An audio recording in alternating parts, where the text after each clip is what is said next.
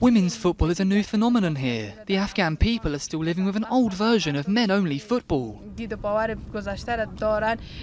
It might take around 50 years, but we're still hopeful of changing this mentality, and we will continue our struggle until women's football becomes a norm in Afghanistan society.